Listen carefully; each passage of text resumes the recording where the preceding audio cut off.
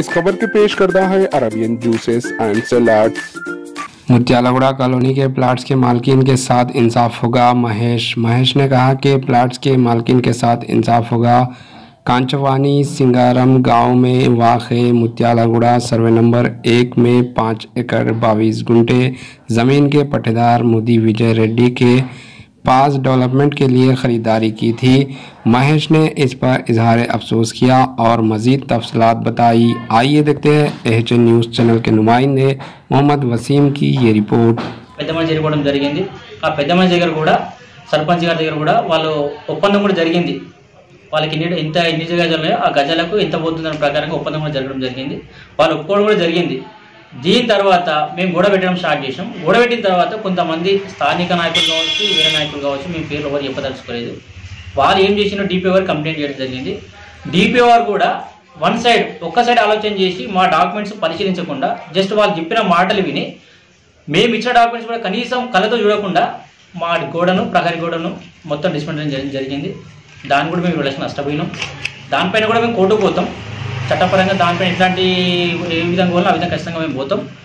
మేము లీగల్గా డాక్యుమెంట్స్ ఏ డాక్యుమెంట్స్ ఎవరు అడిగినా కానీ ప్రతి డాక్యుమెంట్స్ ఇవ్వడానికి మేము సిద్ధంగా ఉన్నాం. అన్ని డాక్యుమెంట్స్ ఏ రోజు రమ్మన్నా సరే ఆ రోజు చేయడానికి సిద్ధంగా ఉన్నాం. ఆ విషయం గ్రామ సర్పంచ్ కూడా తెలుసు. ప్రతి ఒక్కరు మేము చెప్పినాం కూడా ఆ ముగ్గురు డా- ముగ్గురు అయితే ఎవరైతే ఉన్నారో ఎవరైతే ఏ వ్యక్తి అయితే వచ్చి అక్కడికి వచ్చి మేము ఆ ముగ్గు మేము ఎవరు పేదలకు మేము అండగా నిలబడతాం పేదలకు న్యాయం చేస్తామని చెప్పేసి అన్న వ్యక్తి ఎవరైతే ఉన్నారో వాళ్ళే నన్ను పిలిచి ఒక పది కింద పిలిచి నాతో మాట్లాడడం జరిగింది.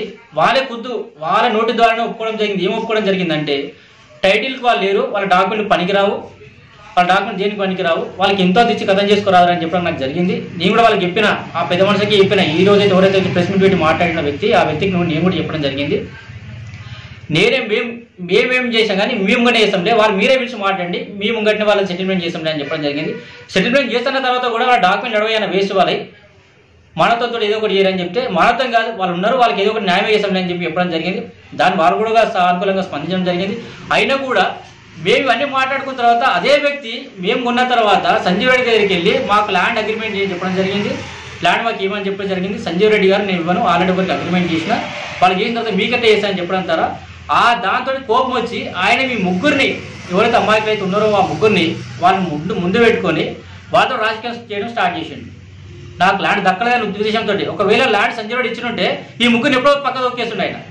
తప్పకుండా పక్క దొక్కేస్తుండే ఆ ల్యాండ్ ఇలా ఇచ్చేతో ముగ్గురిని గుంజుకొచ్చి ఈ ముగ్గురు నాకు ఉండరు మీ ముగ్గురితో రాజకీయం చేస్తాను చెప్పి ఆ ముగ్గురు అమాయకులని.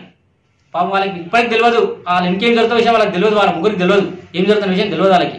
వాళ్ళు అడ్డం పెట్టుకొని ఈ ల్యాండ్ ఏదో ఒక విధంగా నేను లాభపడాలి.